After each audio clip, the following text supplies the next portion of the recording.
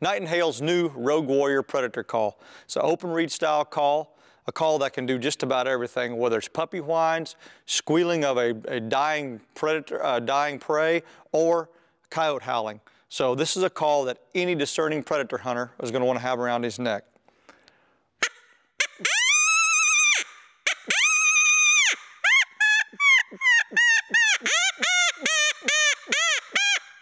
Rogue Warrior open reed style predator call from Knight & Hale.